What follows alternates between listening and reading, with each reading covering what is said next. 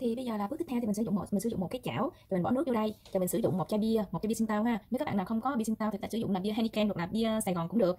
Cái đó thì mình sẽ sử dụng một um, một gói bột nổi ha một gói bột nổi. Và phần bánh tráng thì mình sử dụng là bánh tráng bông hồng ha. Là cái bánh tráng này là nó đã cắt ra một phần tư một phần tư.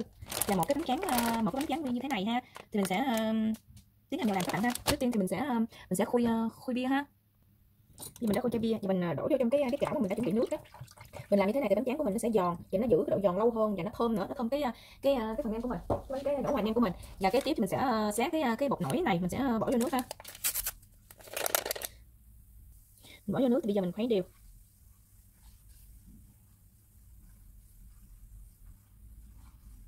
Mình khuấy đều thì mình bắt cho nó nó sôi lên để mình nhúng bánh tráng mình cuốn ha.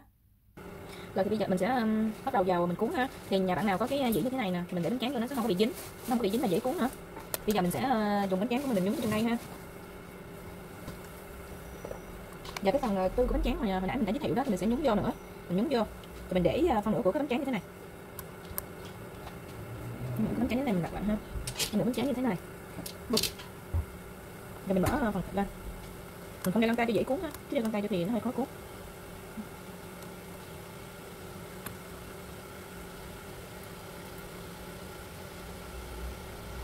Mình cuốn cho siết chặt chặt lại, để à, mình chiên nó không có bị à, vỡ ra thì bánh tráng của mình, thì cái à, chả giò của mình cuốn nó được như thế này nè.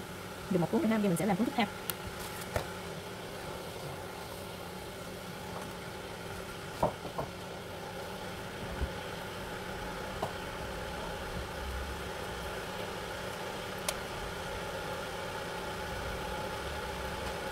Cái này có sợ vô tay tại vì mình phải có bàn tay để nó siết cái cái cái giò của mình.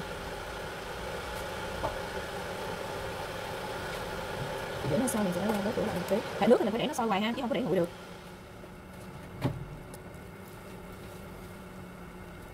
Mình cuốn cho nó chặt các bạn ha.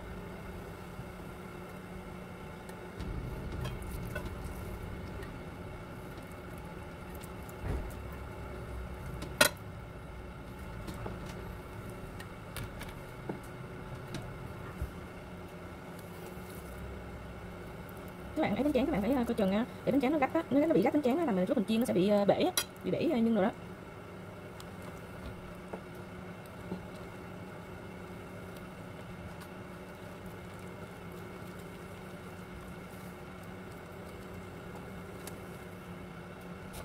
Các bạn lưu ý là nước á, là lúc nào phải để nóng nha để bánh tráng của mình nó nó kết dính á, dễ hơn. Thì mình ờ, làm một lần là 6 cái gì đó, rồi mình bắt đầu để như mình cuốn thì nó sẽ nhanh hơn. Mình cuốn từng cái thì nó ờ, nó lâu hơn.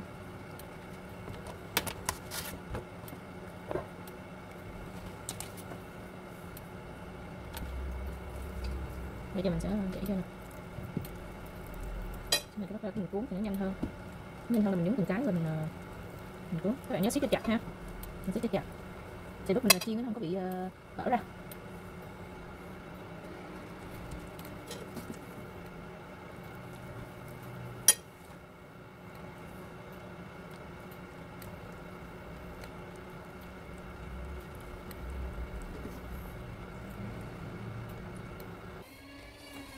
Như là mình cuốn cũng đã xong ha là mình được ờ, uh, 58 cuốn. Thì bây giờ mình sẽ để vô trong ngăn mát tủ lạnh để cho cái da của nó hơi uh, hơi khô lại một tí thì mình uh, chiên nó sẽ ngon hơn nó sẽ giòn hơn nó sẽ ít bị bể uh, bị bể cái vỏ bánh hơn. Bây giờ mình sẽ um, bỏ vào tủ lạnh khoảng uh, nửa tiếng ha mình sẽ lấy ra mình chiên. Bây giờ thì mình sẽ bắt một cái chảo ha mình đổ dầu vô. Và mình đợi cho cái dầu nó nóng lên thì mình sẽ bỏ um, mình sẽ bỏ chả giò vô chiên ha. Thì mình bắt cái chảo như thế mình sợ mà chả giò nó dính cái đít á thì mình sẽ sử dụng cái cái cái gỗ như thế này. Cái gỗ như thế này sau đó thì mình sẽ lấy nem á để chả giò nó mình để mình xếp mình xếp nó như thế này.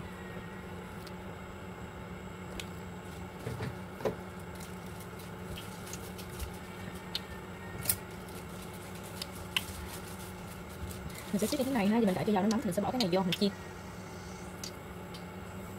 Bây giờ thì mình thấy uh, dầu nó sôi ha mình sẽ bỏ uh, cái gỗ chả dầu này vào.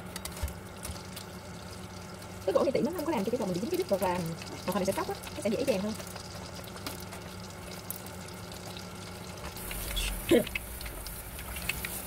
Mình sẽ ờ, dùng dũa mình cắt cắt nhẹ nhẹ nó ra để uh, cho nó đừng có bị uh, gấp chán bánh của mình. Đừng có bị bể bánh chán của mình.